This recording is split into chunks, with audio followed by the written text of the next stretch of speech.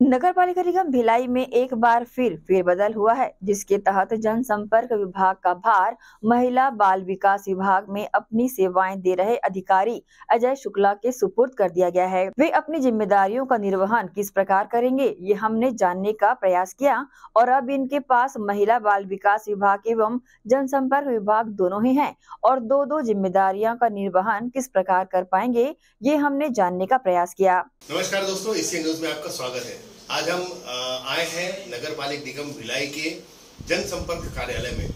एक बार फिर नगर पालिक निगम भिलाई में फेरबदल हुआ है।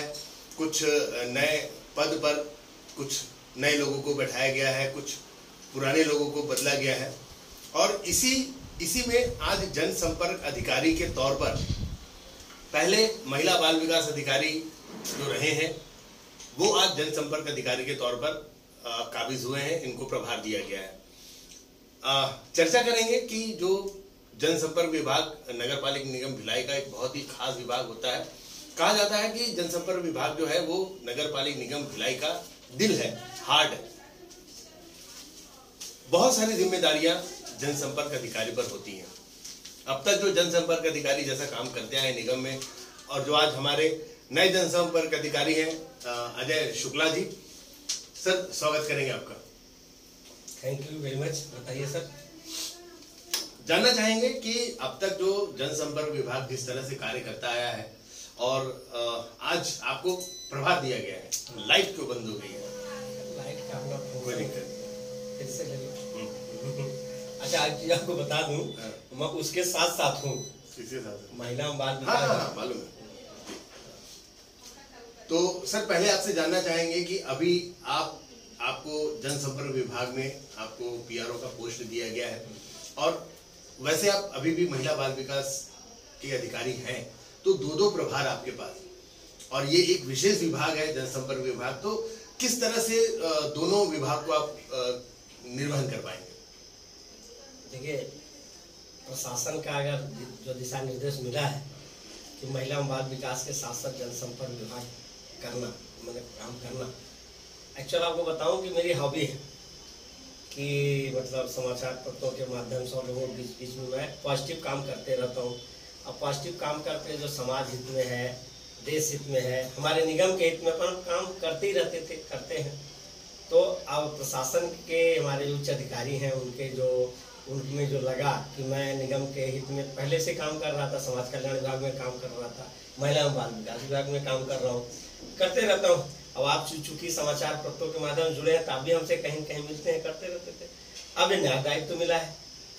ग्यारह सेक्शन में पहले भी मैं काम कर चुका हूँ, अब मैं और निष्ठा के साथ और बेहतर काम करूँगा।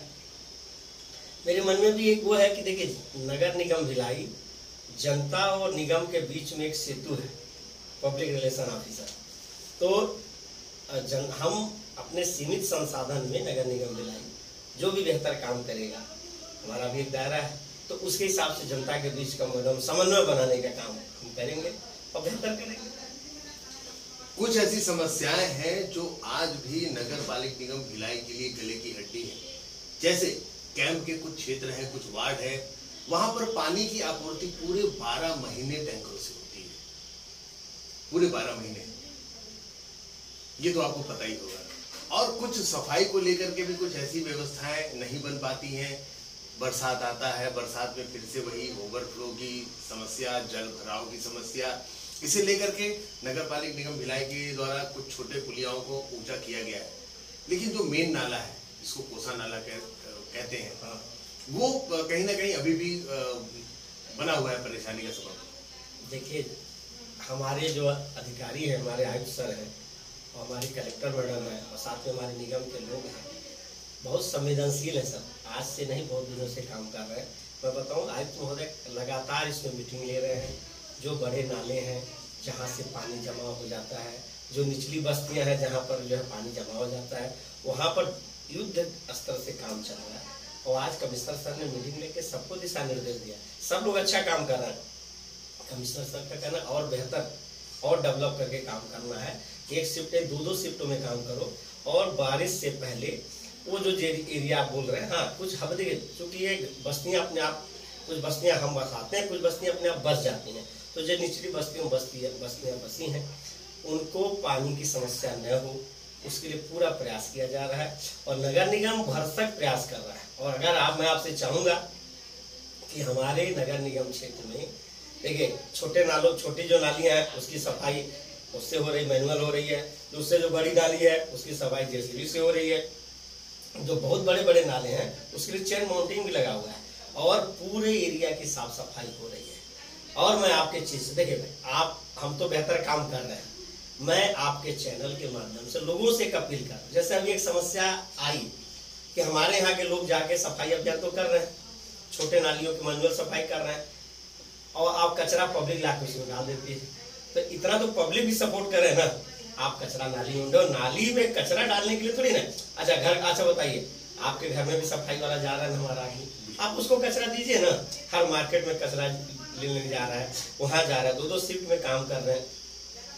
अब जनसंख्या का घनत्व तो ज़्यादा है, सब कुछ है तो मैं कहना चाहूँगा, नगर निगम भिलाई की तरफ़ से मैं आपके चैनल के माध्यम से लोगों से अपील करता हूँ, जितने दर्शक लोग हैं, हम तो अपनी क्षमता से पूरा काम कर रहे हैं मतलब हमारे साथ तो नगर निगम भिलाई कर रहे हैं।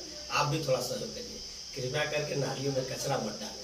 और देखिए, आप अभी हमारे यहाँ जो सफ़ाई व्यवस्था चल रही है सफ़ाई भी करते मतलब कचरा भी निकाल रहे हैं, कचरे को उठा करके उसको निपटान भी कर रहे हैं, उस जगह को साफ़ कर दे रहे हैं, ताकि कोई असर न हो लेकिन हम साफ़ कर रहे हैं और बाई मिस्टेक कचरा डाल रहे ऐसा न करें, बस। और हम पूरा प्रयास कर रहे हैं, हम क्या पूरा निगम प्रशासन प्रयास कर रहे हैं कि किसी प्रकार का लोगों को तकलीफ़ न हो। जनसंपर्क अधिकारी अजय शुक्ला जी का साफ़ कहना है कि बगैर सहयोग के आ, कोई भी कार्य मुश्किल है। जिस प्रकार घर की साफ़ सफ़ाई और घर को स्वच्छ रखना किसी एक आदमी के हाथ में नहीं होता है बाकी लोगों को भी उसमें अपनी सहभागिता निभानी पड़ती है। उसी प्रकार नगर निगम भी एक घर है एक परिवार है। सिर्फ़ निगम के अधिकारी और कर्मचारी पे अगर सारी चीज़ें छोड़ दी जाए तो वो गलत बात होगी। आम जनता को भी जागरूक होकर के उसमें सहयोग करना पड़ेगा। सर, बाकी की जो समस्याएँ आती हैं देखा जाता है कि निगम में भीड़ लगा रहता है, किसी को पेंशन नहीं मिल रहा है, किसी का कोई दिक्कत है, किसी का मतलब as a P R O as a जनसंपर्क अधिकारी, आप किस तरह का रोल अदा करेंगे? बाकी जो जनसंपर्क अधिकारी थे, उनसे किस तरह से अलग होगा आपका कार्य? देखिए, बाकी जो जनसंपर्क अधिकारी थे, वो भी अच्छा काम किए। हर व्यक्ति, मैं तो अपना अपना दृष्टिकोण रखना चाहता हूँ, हर व्यक्ति अपनी क्षमता से काम सबके अंदर कुछ अच्छाई होती है, कुछ कमियाँ होती हैं, हो सकती है। हमारे पहले के जनसंपर्क अधिकारी भी अच्छा काम किए। अगर मैं आया हूँ तो मैं भी अपनी क्षमता से अच्छा काम करूँगा। और अगर कहीं भी कोई तकलीफ़ होगी तो हम उसका कैसे निदान कर सकते हैं? वैसे बताओ कहीं भी कोई पेंशन पेंडिंग नहीं है। कहीं भी कोई चीज़ हाँ एक चीज़ की जो है, अभी हमारे नगर निगम भिलाई में एक काउंटर खुला हुआ है, जहाँ पर आप, जैसे बोलते हैं, रेलवे स्टेशन में पूछताछ कार्यालय। इसी प्रकार हमारे नगर निगम में काउंटर खुला हुआ है। कभी कभी क्या होता है जैसे मान लीजिए पेंशन का प्रकरण है उनका। उनका पेंशन का प्रकरण कौन सा है? वो शासन का पेंशन लेते हैं। और वो नगर निगम में पेंशन लेने आ जाते हैं तो उनको जो पेंशन मिलने वाला रहता है तो शासन का है। तो शासन में जाना चाहिए। तो उन्हें जानकारी नहीं रहती, इसलिए आ जाते हैं। कभी कभी ये भी आती है कि आवेदक के खाते में पेंशन तो जा रहा है। अब उनका दो दो बैंक अकाउंट है। आधार सीडिंग नहीं हुआ है तो आधार सीडिंग होने का उनके दूसरे खाते में पैसा जा रहा है। अब उनको मालूम नहीं है इसके लिए भी आयुक्त महोदय के निर्देशानुसार एक अलग से पेंशन विभाग में ऑपरेटर बैठे हुए हैं। आप वहाँ जाएँगे, केवल अपना आधार कार्ड, बैंक पासबुक दिखाते हैं, उसके आधार पर हम बता देते हैं। तुरंत ही आवेदक बता देगा हमारा आधार वो कि पेंशन आपका फला खाते में जा रहा है। तो इस प्रकार की आपको निदान कर रहे हैं। हर समस्या का समाधान है। आपस में बैठ करके, मिल करके हो जाएगा कोई दिक्कत नहीं। नए जनसंपर्क अधिकारी के रूप में अजय शुक्ला जी बिल्कुल आश्वस्त हैं कि आने वाले समय में नगर पालिक निगम भिलाई क्षेत्र में रहने वाले कोई किसी भी आदमी को किसी प्रकार की परेशानी नहीं होगी बशर्ते वह भी अपना सहयोग भरपूर निगम के साथ मिल करके दे। तब जाकर के एक स्वच्छ वातावरण निर्मित हो पाएगा और एक बहुत अच्छा माहौल में नगर पालिक निगम भिलाई के अधिकारी भी काम कर पाएँगे और आप स्वयं भी संतुष्ट हो पाएँगे। एक चीज़ और मैं कहना चाह रहा सर एक और चीज़ आपने बड़ा अच्छी बात बोली कि बिना सहयोग के। याद करिए, स्वच्छ भारत जब से शुरू हुआ, आपके चैनल के माध्यम से, समाचार पत्रों के माध्यम से, हर चीज़ के माध्यम से हमारा जो सफ़ाई कर्मचारी जाता है, कहना है, भाई, सबसे एक अपील है कि घर से दो तरह के कचरे निकालते हैं। एक गीला कचरा, एक सूखा कचरा। पूरी भारत नहीं, पूरी दुनिया की समस्या बनते जा रही है, जो कचरे निकल रहे हैं। हम कह रहे हैं, जो गीला कचरा, घर से साग, सब्ज़ी, भाजी, जूठन, ऐसा जो भी कचरा निकलता है डस्ट वो निकलता है। उसके लिए आपको दो डब्बा दिया गया है। एक एक एक हरा डब्बा, एक नीला डब्बा डब्बा दिया गया। आप उसके हिसाब से, मान लो आप भूल भी जाते हैं किस डब्बे में डालें। लेकिन ये याद रखना चाहिए, इसमें गीला कचरा डालना है, इसमें सूखा कचरा डालना है। गीला कचरा में उठा करके दोगे हमारा जो सफ़ाई वाला कर्मचारी है, वो गीले में डाल देगा और सूखे में डाल देगा, सूखा में डाल देगा। तो क्या होगा, बाद में वो गीला कचरा जा करके खाद बन, जैविक खाद उससे बन जाता है, फिर वो रीयूज हो जाएगा। और और क्या कर, हम क्या कर रहे हो? कि गीला कचरा, सूखा कचरा, जितने भी घर के कचरे निकलते हैं, हमारे घर से भी निकलता है, आपके घर से भी निकलता है, एक ही डब्बे में डाल देते हो। एक डब्बे में डाल देने के बाद जब उस जाता है ना तो या तो देखो, और जो आप, जैसे दबती है, प्लास्टिक है, होल्डर है ये जितने जो घर से निकलने वाले वेस्ट हैं, ये बिक्री हो जाती है। आपको ये भी बताऊँ, जैसे पेन है ना, ये पेन में अगर आप ऐसे करके दिए तो इसका बहुत अच्छा वैल्यू है, इसका अलग मूल्य है, इसका अलग मूल्य है, इसका और मूल्य है। और डायरेक्टली नहीं इनडायरेक्टली आप दान भी कर रहे हो। क्या दान कर रहे हो? नगर निगम भिलाई ने भी छूट दिया है कि ये जो कचरे हैं मतलब जो घर से निकलता है, और हमारी स्व सहायता समूह की महिलाएँ लगी हुई हैं, हमारे जो कचरा बिनने वाले लोग लगे हुए हैं, जो हमारे लेबर लगे हुए हैं, वो, उनको छूट दिया गया कि आप वो कचरा जो रिसाइकल हो सकता है उसको जाके बेच सकते हो।